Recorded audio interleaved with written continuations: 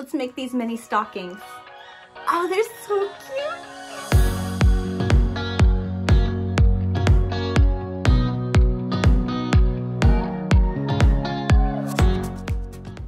Hi guys, welcome back to my channel. My name is Tiffany Hansen. Thank you so much for joining me today. In this video, I'm gonna show you how to make the mini rustic stocking Christmas tree ornaments. They're so cute and so tiny. They make up really, really fast. And depending on what color combination you choose, you can either make them more rustic looking, more classic looking. If you're going with the reds and the greens, you can go silver and gold. You can even do kind of like a Dr. Seuss look by making it like hot pink and hot green. Just have fun with these. My favorite look though is that rustic old school look. It's just, timeless and never goes out of style. So that is what I am going to be showing you in this tutorial today. If at any point in this video you do like what you see or you're enjoying the content, please push that thumbs up button. And if you haven't yet, subscribe to my channel and click that bell. That way you don't miss any of my videos. I try to release a brand new video every single Friday covering a wide range of all kinds of crochet projects. I'm all over the board making sure that I hit any interest that you may have.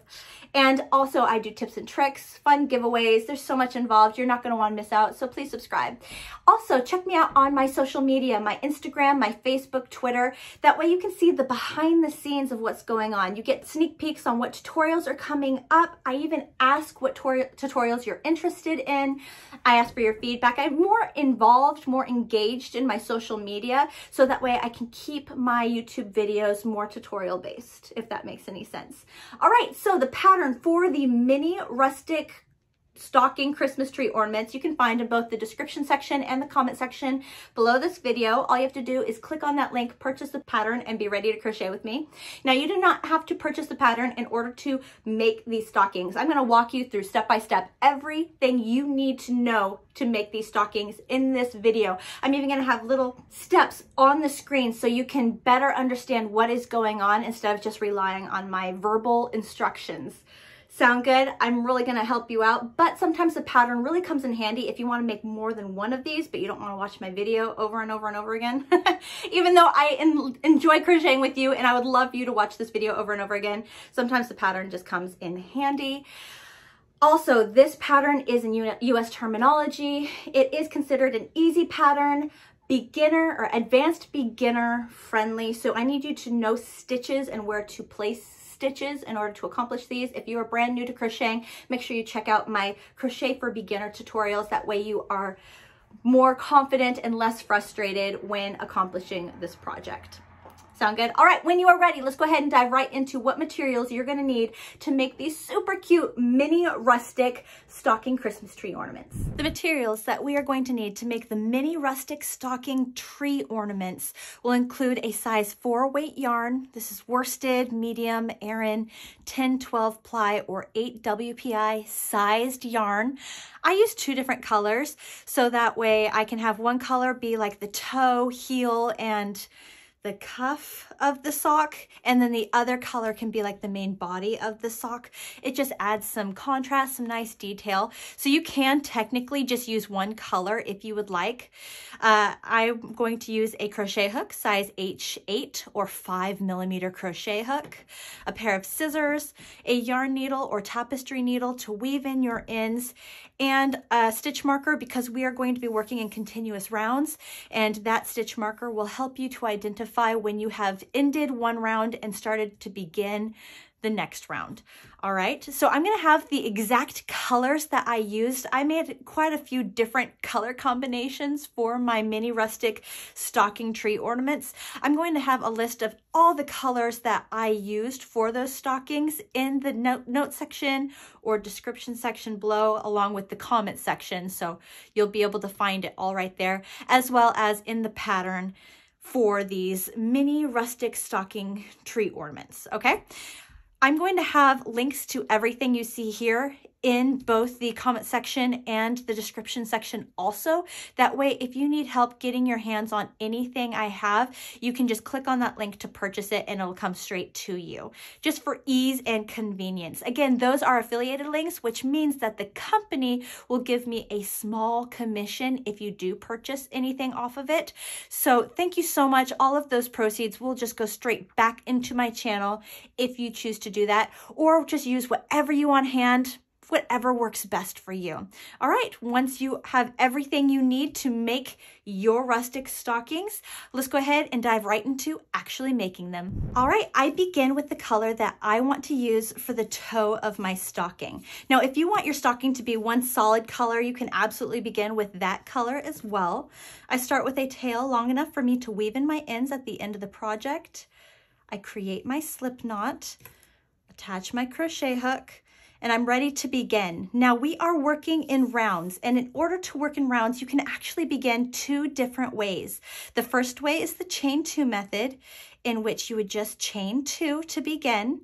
The second way is the magic ring. So to create the magic ring, you start with your tail, two fingers, wrap your yarn around your two fingers and form an X shape. Then I take my thumb and I place it on the X shape. Take your crochet hook, go under the first yarn, grab the second yarn, with the claw, pull that yarn through. Then I remove my fingers, but I keep hold of the ring so I don't lose the ring. And you slip stitch. All right, so slip stitch to secure that ring. Now I can move my fingers and the ring is not gonna go anywhere. Okay, we are now set up for round one of our stocking. For round one, you're just making six single crochet stitches inside the magic ring or six single crochet stitches inside the first chain of the chain two method. So one, two, three, four, five, six. Perfect. Now, if you did the chain two method, you're done and you're ready for round two. But for us, with the magic ring, I'm going to grab the small tail, hold the work back, pull the tail to close that ring, and now I am ready to move on to round two. So let's grab our stitch marker. This is going to come in handy. Place your stitch marker in your sixth single crochet stitch here. That marks the last stitch of round one and tells us we are ready to move on to round two. For round two, the repeat pattern is making an increased single crochet stitch in each stitch all the way around. All that means is we're making two single crochet stitches in each stitch all the way around. You should end round two with a total of 12 single crochet stitches. So here we go. One, two, three, nine, 10, and our stitch marker is in our last stitch. So let's move our stitch marker. 11, 12. Perfect. Okay, so we've actually just finished the toe portion of our stocking. Let's go ahead and slip stitch into the first stitch space here, or the next stitch space. And grab our scissors Cut a tail long enough for us to weave in that end. Grab that tail, pull through the loop on our crochet hook and pull tight and that's tying off our color or tying off our work.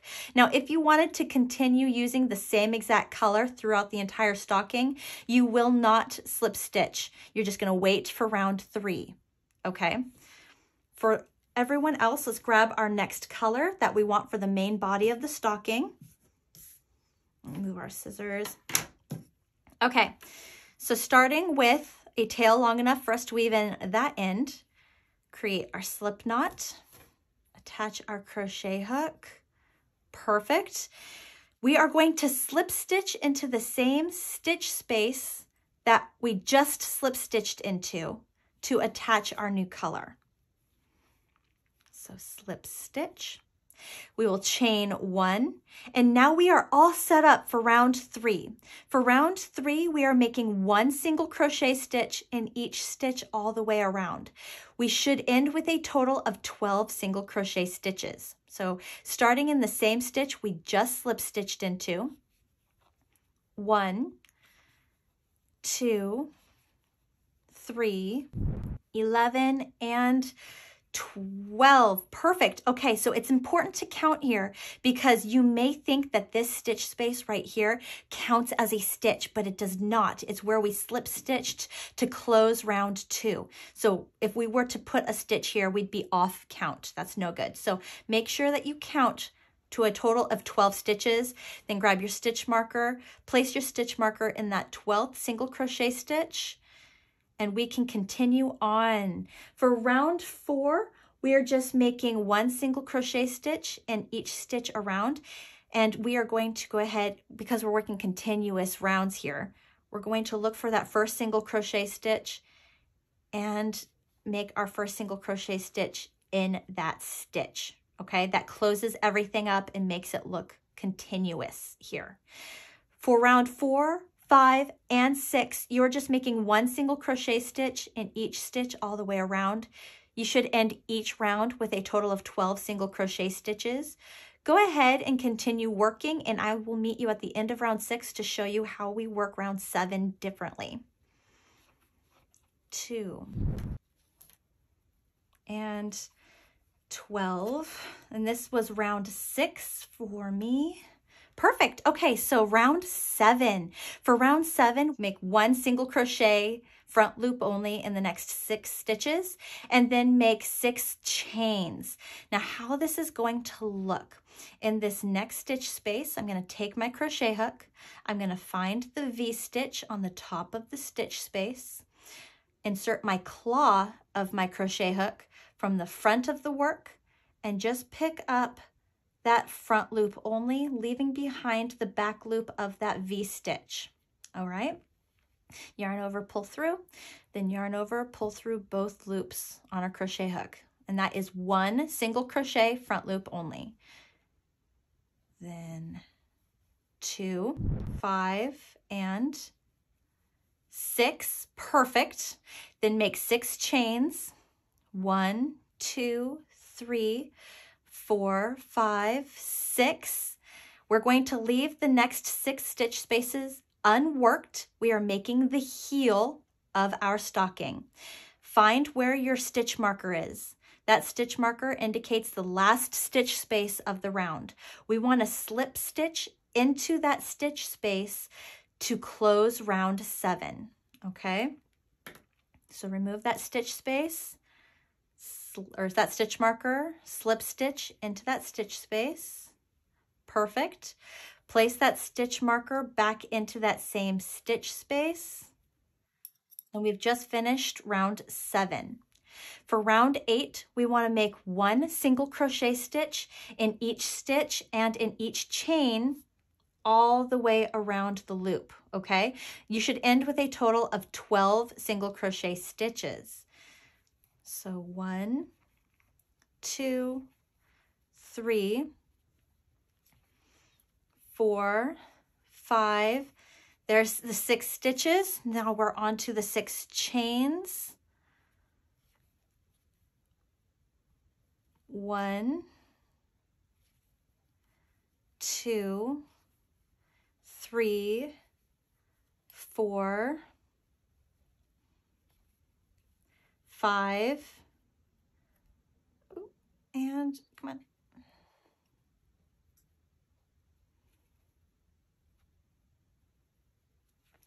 There we go. Six. Perfect.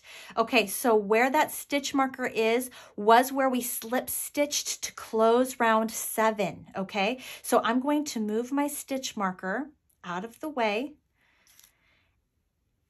and then I'm not going to make a stitch in there because I don't want to mess up my count here. I want to keep 12 stitches. So I'm going to actually start in that first stitch space. One, place my stitch marker in the single crochet stitch that I ended with the chains. okay? And now I'm gonna continue on making one single crochet stitch in each stitch all the way around for round nine and for round 10, you should end round 9 and round 10 with a total of 12 single crochet stitches. Now, just to make sure I explain this right, if you lift up the heel, look at your chains here, where you made your last single crochet stitch in that last chain, that's where you're putting your stitch marker. That is now your last stitch space. This is stitch number one of round nine. Two, three, 11, and 12. Move my stitch marker. Replace my stitch marker.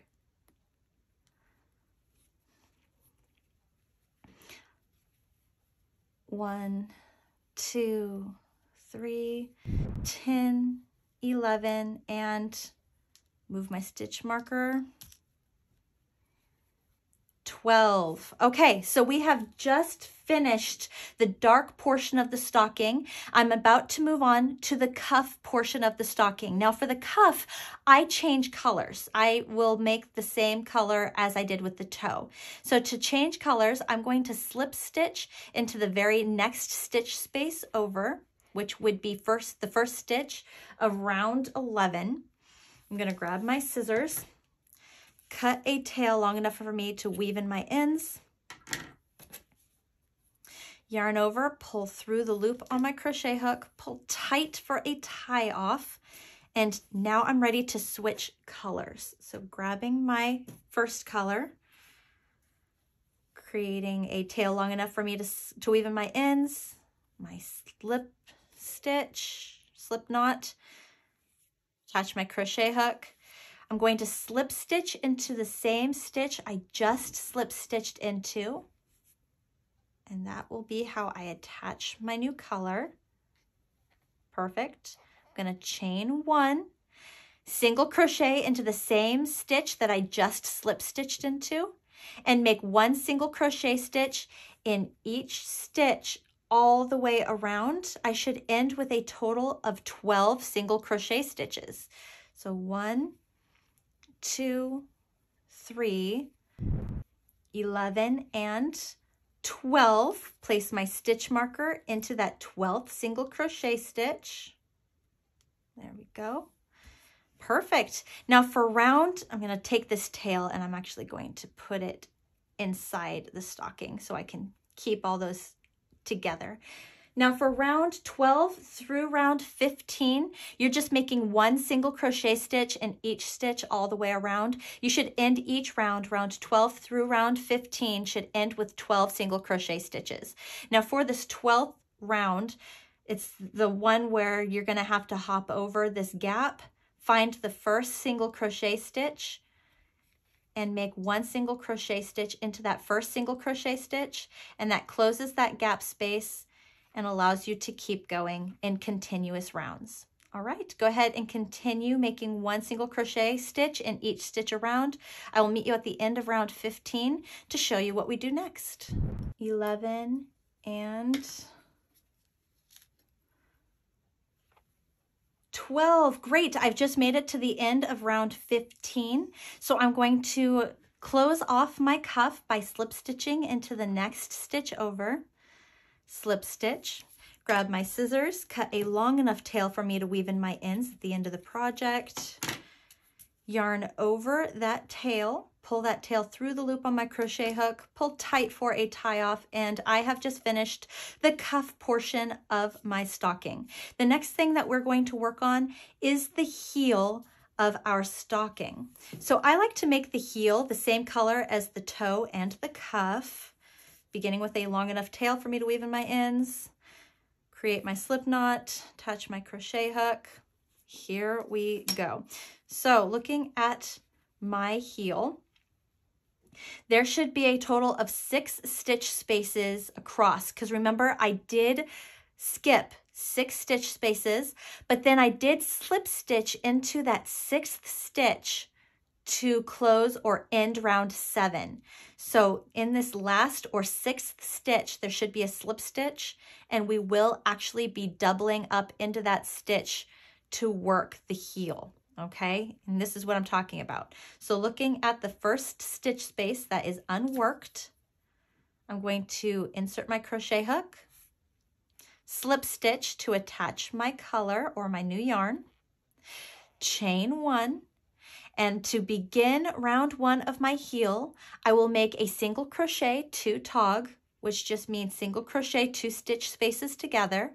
So insert my crochet hook into that same stitch space I just slip stitched into, yarn over, pull through, take my crochet hook, insert into the next stitch space over, yarn over, pull through. I have three loops on my crochet hook, yarn over, pull through all three loops, and that turns two stitch spaces into one. Make one single crochet stitch in the next two stitch spaces. So one, two, and then single crochet two tog the next two stitch spaces together. So one, and in that next, next stitch space, two, and then pull yarn over, pull through to make two stitch spaces into one. Perfect. Now let's start working on the top here. Okay, so first stitch space and second stitch space, we're going to single crochet two tog. One, two, make one single crochet in the next two stitch spaces. One, two, and then single crochet two tog the last two stitch spaces. Perfect. Okay, so that was round one of our heel. Now for round two, we're going to single crochet two tog the first two stitches together, the next two stitches together, the top two stitches together, and the last two stitches together. So technically we're doing four single crochet two togs in a row. All right, so first stitch and second stitch together third and fourth together, turn it over, fifth and sixth, lastly, seventh and eight. Yarn over, pull through. And that ends round two. Now we've already pretty much closed the heel. So what I'm going to do is slip stitch into the very first stitch space. So what I will do is I will take the work, try to show you as best as I possibly can. So here is the whole of the work, okay? I'm going to insert my crochet hook into the hole, out that first stitch space, yarn over, pull through, and pull that yarn through, oops, the loop on your crochet hook for a slip stitch to close up that hole. And we have just finished the heel of the stocking. Grab your scissors, cut long enough tail for us to weave in our ends. Yarn over that tail, pull through the loop on your crochet hook and pull tight. Now, if you see any big holes or big gaps, we will address those when we weave in our ends to close up any of the holes or major openings. We're just gonna take our yarn needle or tapestry needle and help to close up any of those gaps as we are weaving in our ends, okay? Last thing that we are going to make to complete the stocking is the little loop on the inside of the stocking so we can hang the stocking on our Christmas tree. The easiest way to do this is to turn our stocking inside out. So take your stocking, turn it inside out. Here we go. Flatten it so it's flat sideways. Now for me, I like to make the loop the same color as the cuff, but you can do whatever you want. Start with a tail long enough for you to weave in your ends. Make your slip knot, attach your crochet hook. Okay, so looking at your stocking, keeping it flat, I pinch it, pinch it flat. where the two colors meet, or if you are keeping it one solid color, this would be four, four rows, one, two, three, four, five, five rows, one, two, three, four, five, yeah, five rows down from the top. Okay, so insert into those two stitch holes or stitch spaces across, slip stitch to attach your yarn, chain 10, 1, 2, 9, 10, and then slip stitch in the same stitch space through one side, out the other that you already entered in, slip stitch to close the loop, and there's your little loopy. Grab your scissors, cut a long enough tail for you to weave in your end, yarn over that tail, pull it through the loop on your crochet hook, pull tight to tie it off. Perfect. Now what I'm gonna do is I'm gonna take the two tails, the tail I began with and the tail I ended with, and I'm gonna tie two knots, one, two, just to extra secure this whole loop. And then when you weave in your ends, color to color, that way it doesn't stick out like a sore thumb, it, it's just extra secure, extra strong. All right. Okay. So the only ends that I want to address here to weave in are the ones for the heel because I think all the other ends, they aren't as pertinent or important to weave in as the heel because the heel you'll see has a lot of like openings that may bother some people. But I fixed those holes with my weaving in of my ends. So taking my yarn needle, okay, so making sure I place a finger on the inside so I don't sew, sew the two sides together and so I can easily identify where there are any gaps. I'm going to take this yarn and I'm going to go here and close up that hole and then go straight over, close up that hole and then go back close up that hole. And I'm really just going to be weaving all over the place, back and forth. The more you can go back and forth, the stronger it will be. And the more you can get the yarn to go through the other yarns instead of just going in and out, but actually going between fibers, the stronger your weaving in of your ends will be and your ends will stay put, okay? And then once you've finished your one side as best as you like, or if you just run out of yarn, just cut your yarn as close to the work as you can, and then grab the other string and do the same thing. Place a finger on the inside, look for any major holes, and just close those up conceal those and it will look so much better. Perfect. All right, that's it. That is how you make this stocking. Once you've woven in all of your ends, your stocking is done. And what I will do, yes, go ahead and get rid of that.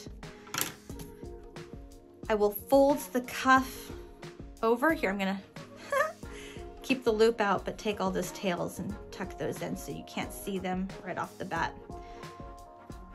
But I'll fold over that cuff and then you have your cute little stocking. You can place something in there if you want or just hang on your tree.